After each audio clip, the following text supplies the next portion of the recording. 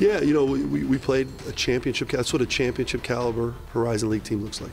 And I was, you know, our fans got a chance to see it, and our players got a chance to see it. That's what it looks like. And I thought in the first half we had great energy. Uh, we rebounded the ball. They're the best rebounding team in the country, and we held them to five offensive rebounds in the first half. I was really happy with our intensity. Thought we really defended in the first half. Um, didn't make as many adjustments as I needed to in the first half offensively. We made those adjustments in the second half. Just weren't able to.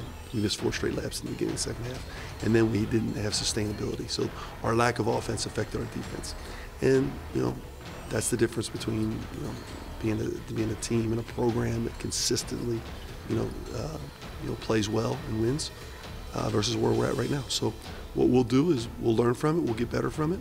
Um, but I think our guys understand that you know we're three and five. We're in a good place in terms of um, understanding the system.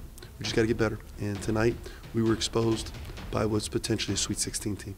I thought we came out um, we came out strong at first, and then once they went on their run, we didn't react the right way. So um, we just got to continue to work and uh, not be discouraged. That's a really good team. We'll uh, face them again probably twice. So uh, just got to be ready for the next time.